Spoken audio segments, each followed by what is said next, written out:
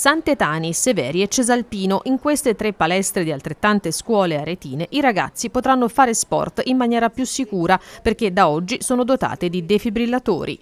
Le strutture, aperte non solo agli studenti ma anche alle associazioni sportive del territorio, necessitavano di questa dotazione arrivata grazie all'azione congiunta di Comune di Arezzo, Fondazione Cesalpino ed Estra. Un grazie particolare ad Estra perché dimostra di essere quell'azienda eh, dal cuore umano che ci piace essere, cioè un'azienda che dà una mano forte all'amministrazione laddove si tratta di fare un servizio alla comunità. Quindi il concetto della sicurezza che è un po' uno dei punti fermi della Giunta Ghinelli ritorna qui con grande attenzione, cioè quello di mappare il territorio e di predisporre in ogni punto strategico e le scuole sono per eccellenza il punto strategico affinché possa essere presente qualora ci dovesse essere la necessità, quindi sicurezza come parola chiave che si declina in tanti modi, stamani mattina qui alla Cesalpino si declina con defibrillatori, non sono qui ma anche in altri istituti, è come dire un punto forte per permettere ai ragazzi, ai docenti, alle famiglie, ai cittadini di Arezzo di essere sicuri.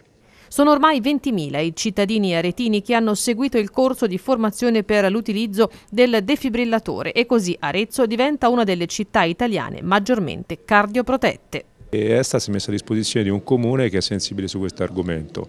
Oggi inauguriamo anche questo punto alla Cesalpino e siamo felici di sostenere questo progetto del comune, delle società sportive, delle scuole al servizio della vita. In questo senso Estra continua a rappresentarsi come una società del territorio legata alle esigenze sociali e sportive eh, del nostro comune.